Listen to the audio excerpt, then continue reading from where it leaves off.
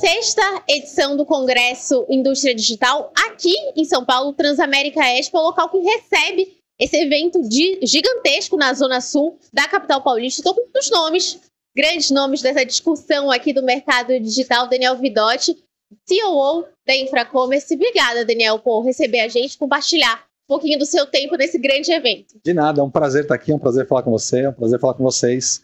Muito legal estar aqui. Daniel, para a gente começar, quem está do outro lado da telinha quer entender melhor o que a Infracommerce faz. O que, que vocês trazem de solução no mercado? Claro. Hoje a gente é a maior empresa de full commerce da América Latina.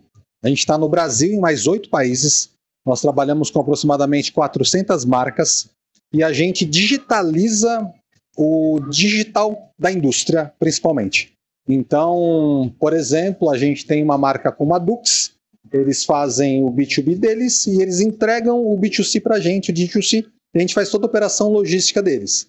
É, tem uma outra marca como N outras marcas que dão o full commerce completo. Eu faço desde a loja digital, eu faço operação de payment, eu faço operação de saque, eu faço operação de logística até a última ponta que é o frete. Então a gente digitaliza as empresas. Então, ficou muito amplo para quem está do outro lado entender infracommerce, tem contato com empresas de diversos segmentos que atuam no digital, querem potencializar essa presença no digital. Vou aproveitar essa experiência da Infracommerce para te perguntar, Daniel, sobre Black Friday. Está chegando. A gente conversava aqui nos bastidores, o Daniel me contava que a expectativa esse ano é crescer menos do que no ano passado. Sim. E aí? É, Explica isso.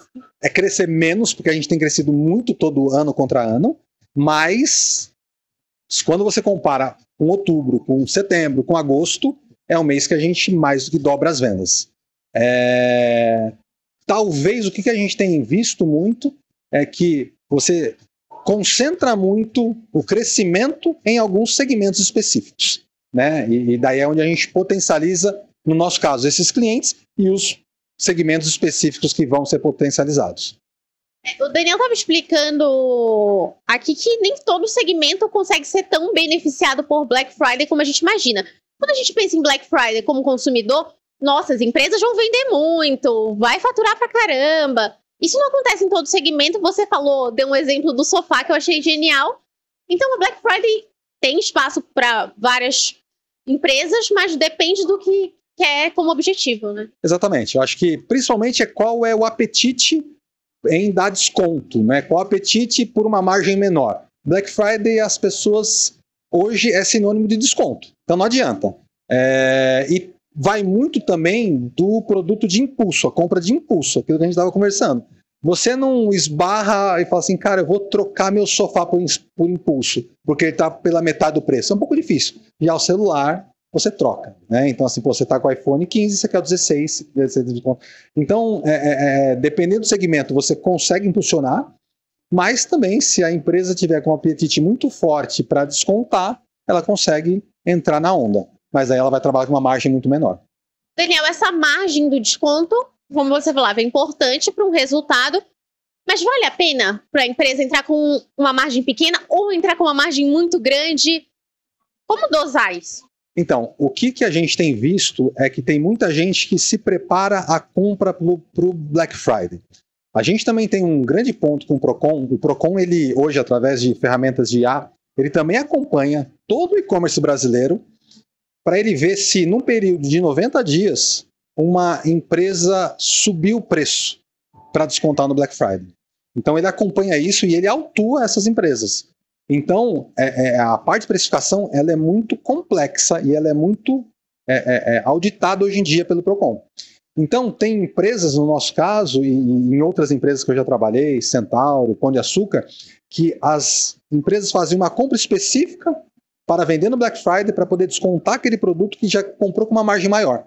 E dali no Black Friday ela sabe. E um outro ponto também é que a gente também usa Black Friday para desovar, né, que a gente fala, produtos encalhados. Cara, eu tô com aquela coleção que não sai, de uma camisa, de um relógio. Eu desovo no Black Friday. Ali eu baixo meu preço para tirar e melhorar, e daí eu girar o working capital para comprar coleção nova.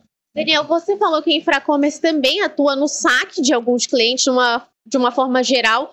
Esse atendimento ao cliente é muito importante na Black Friday. Já vi muitos consumidores reclamando, inclusive entrando em contato com a gente. Ah, comprei, não foi entregue, demora para ser faturado.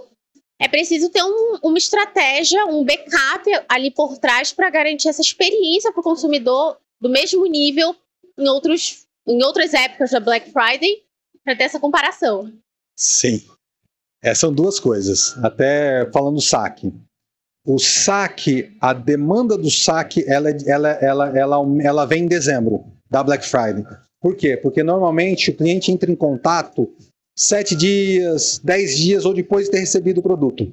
Então, a gente tem dois pontos aqui. A gente trabalha muito com IA, a gente tem um bot que a gente coloca as informações do bot e ele automaticamente responde, muito, muito cliente, então sem precisar o contato humano, contato seja telefone.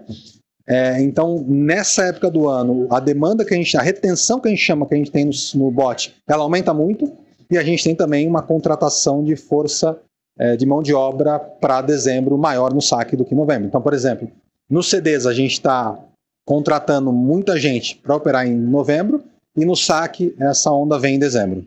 Mas tem que planejar, gente, galera atrás, agência atrás, tal, para a gente ter essa mão de obra especializada e treinada também. Isso junta com o final do, final do ano? Depende de cada setor, né, Daniel? No caso de vestuário, ali quem vai comprar um, um presente para Natal, ou em dia já não é mais? Não, porque o que acontece? No digital, é, é, acontece um pouco diferente do varejo físico.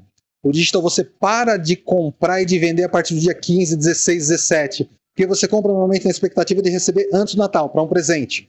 Então você tem uma venda ainda agressiva na primeira semana do, do, do mês de dezembro e na segunda semana, e depois a venda cai drasticamente no, no e-commerce. Então, dezembro normalmente é muito parecido com outubro, porque você tem só duas semanas fortes e as outras duas elas caem mais do que metade.